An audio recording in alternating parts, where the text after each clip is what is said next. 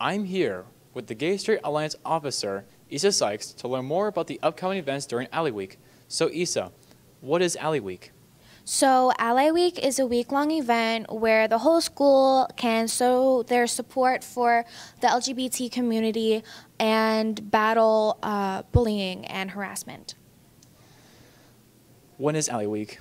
So, Ally Week is Monday, September 24th to Friday, September 28th. Why does Ally Week matter?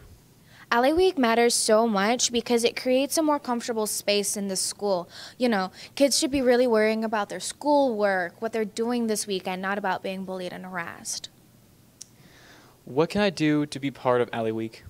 Awesome question. So, the Gay Straight Alliance will be having a table during lunch periods where you can sign up, sign a voucher, um, get cute rainbow ribbons, and sign a big rainbow poster.